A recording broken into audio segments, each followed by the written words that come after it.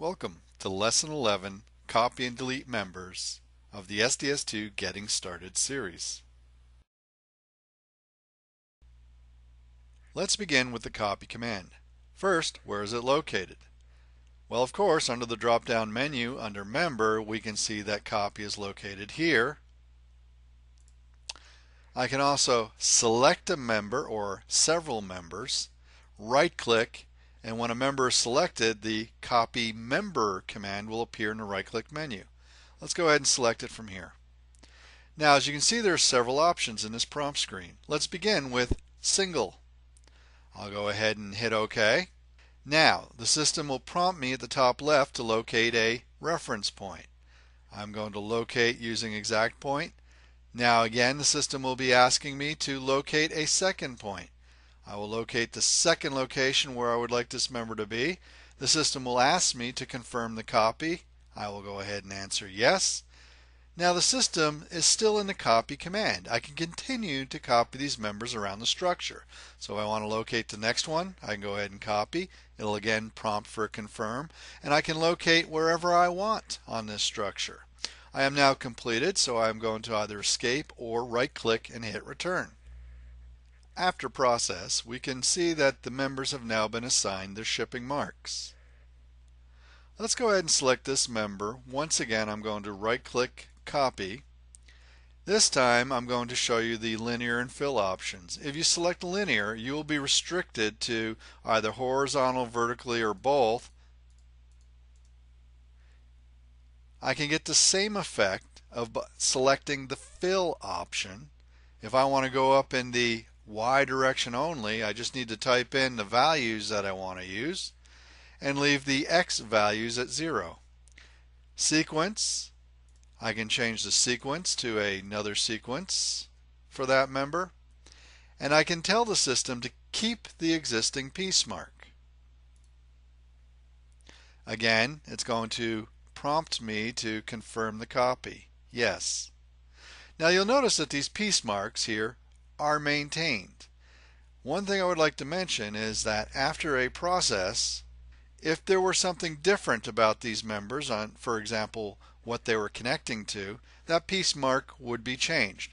Let me demonstrate. I'm going to go and select this B15 now. Let's go up here and do a copy member operation. Let's just add this one up here, 2 foot 6. One copy, keep existing piece mark, go ahead and hit OK. Now you'll notice that it says it's B15. This one's connecting to column webs, these are connecting to these 18 by 35s. Once I go ahead and run that process, we'll see that the mark is updated to the B underscore 43. I would like to add in one more copy command. I'm going to locate this member, right click, and then go ahead and select the copy members. Let's say for example I had a floor and I wanted to copy this floor up 3 feet. Well, I'm going to select the single option, hit OK, use exact point or intersection construction line or whichever point I would like to use for a reference point, and then use the dxdy point locator and then in the z direction I will simply type in the amount that I want to move up. Once again, confirm my copy. So now we can see as I rotate this that I have copied the member up 3 feet in the z direction. Of course you can copy down by typing in a negative value into the dx dy.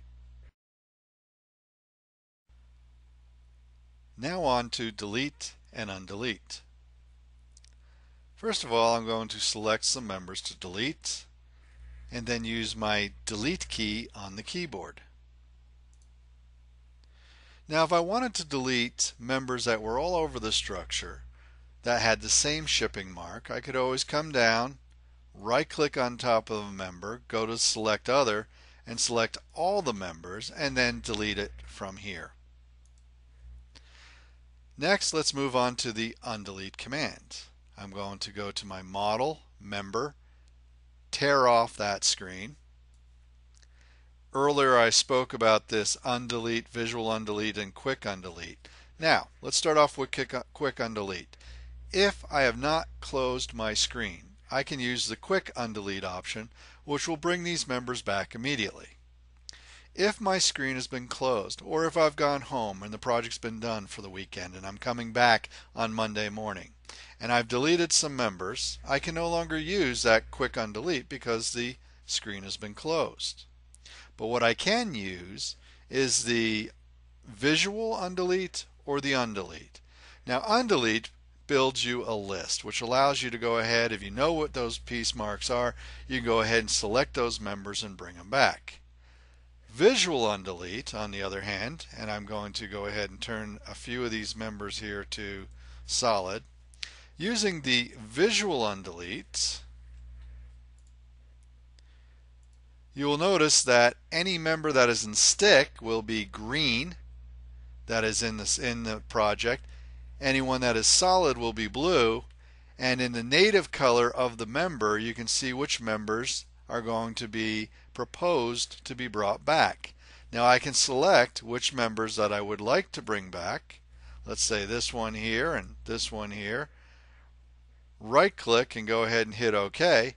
And as you'll notice, the system will bring back only the members that I have selected.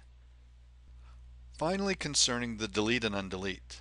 When a member is deleted, it is placed onto a list within the system you'll be able to undelete these members indefinitely until you remove those members from the list. So where is this list located? In utility functions you'll see that there is a command here that says release deleted members. When you select this release deleted members command and hit continue the system will open up this list of all the members that have been deleted.